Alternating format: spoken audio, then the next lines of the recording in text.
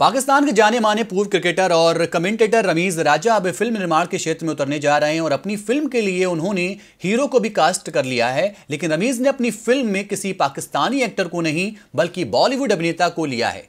खबर आ रही है कि उन्होंने अपनी फ़िल्म में संजय दत्त को बतौर हीरो साइन किया है। इस बात की जानकारी रमीज राजा ने पाकिस्तान के एक न्यूज़ चैनल से बात करते हुए दी। इसके साथ ही उन्होंने कहा कि उनकी फ़िल्म क्रिकेट के ज़रिए आतंकवाद को खत्म करने के मुद्दे पर केंद्रित है। इतना ही नहीं, उनकी यह फ़िल्म एक्शन और सस्पेंस से भी भरपूर होगी।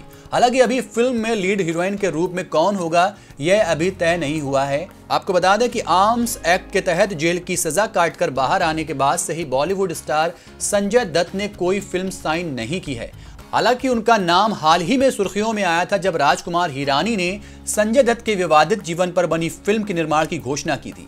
संजय दत्त की बायोपिक में रणवीर कपूर फ़िल्म में उनकी भूमिका करते हुए नज़र आएँगे। तो क्रिकेटर से कमेंटेटर बने रमीज राजा अब फ़िल्म निर्माण में कदम रखने वाले हैं और फ़िल्म में क्रिकेट के ज़रिए आतंकवाद को खत्म करने के मुद्दे पर कहानी केंद्रित होगी। हालाँकि अभी फ़िल्म में किसी हीरोइन को नहीं कास्ट किया है और ना ही अभी फ़िल्म का नाम सामने आया है। बताया जा रहा है कि फ़िल्म के लिए माहिरा खान या कैटरीना कैफ को लिया जा सकता है। देखते रहिए डीबी लाइव।